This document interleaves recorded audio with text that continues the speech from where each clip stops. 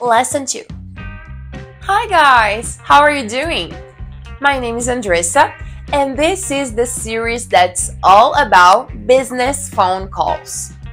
Today's lesson is how to lead a business conversation when talking on the phone.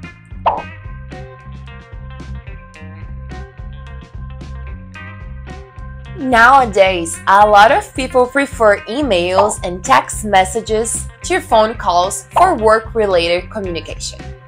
Why? Making business call can feel a bit nerve wracking. While it might be more convenient to contact someone via digital technologies, the phone is still a more personal way of carrying on a business conversation. Nothing can replace the sound of a human voice, right? So, to help you make your business calls as effective as possible, we created a list of basic steps and phone etiquette tips. Let's check out. Step 1 Prepare for a call. What is the first thing you should do before making a business phone call? Take a moment to prepare. Here are some steps to do this effectively. First, identify the reason you are calling. Knowing the purpose of your business phone call will prevent you from being nervous about speaking with someone you barely know.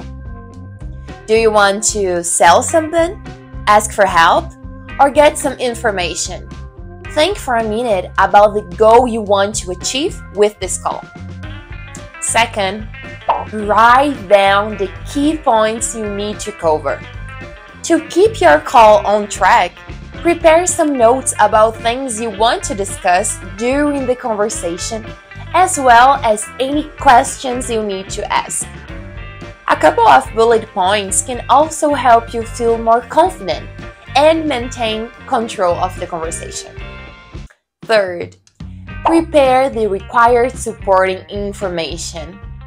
Be close to a device with the internet so that you can search for any extra data quickly. Step 2. Introduce yourself. When making outbound calls, say hello and introduce yourself to the person on the other end of the line. To follow professional phone etiquette, start with your first name, as well as your last name, title, or company's name if required. For example, hello, my name is Andressa and I'm calling from 123 Company.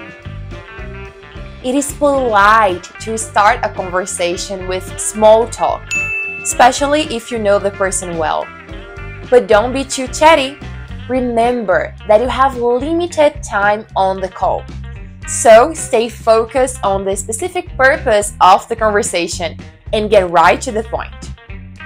If you don't know the person, exchange pleasantries like a brief, How are you doing? or I hope you are doing well today. Step 3 State the main reason for your call.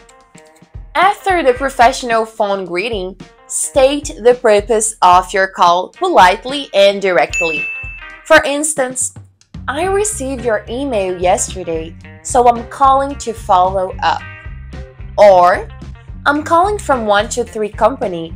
I would like to speak with you about your recent purchase. Explaining the reason for your calls provide focus and direction to the conversation.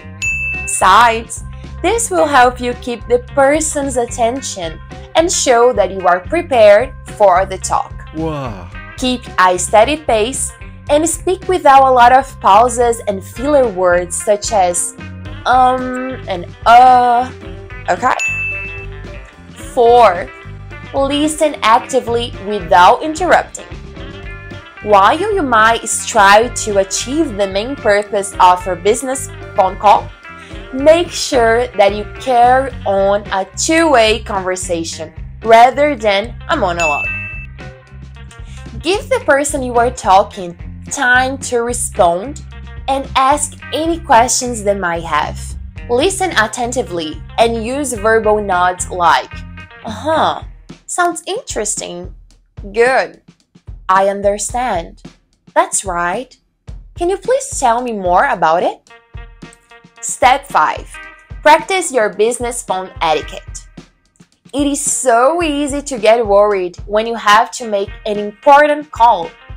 But if you allow your anxiety to overtake your emotions, you won't succeed in business communication. First of all, make sure to stay calm and speak clearly. Choose your words carefully, avoiding slangs and jargon. To speak on the phone in a professional business manner, pay particular attention to your tone of voice. Speak in a normal tone or a bit higher. Keep it natural, positive, and inviting. And of course, try to pronounce words clearly and minimize your accent. If you need to put the person on hold, ask them for permission to do so and then explain the reason why. Well, you can say something like, name of the person, and then, it is okay if I put you on hold for a few seconds while I check with, and then the other person's name about this issue? To follow phone etiquette at work, never leave someone on hold for more than 30 seconds and always check back in after 15 seconds. When you finally get back to call, thank the other person for waiting. If it is going to be a long hold, make it clear to them that you don't want to waste their time on hold and promise to call them back. If you have to put someone on the speakerphone, let them know you are about to do so so, and mention who else is near you. Step 6 Give thanks. Politeness will never be old fashioned. End your call by thanking the person for their time. Saying, Thank you so much for having talking to me. Have a good day. Or, Thank you so much for talking to me on the phone. Have a good day. As you can see, from a business perspective, a failed telephone conversation can cost you productivity, time, and even money. If you want your calls to bring good results, you should prepare for each of them. Try to keep the conversations as light and positive as possible. And don't forget about business telephone etiquette.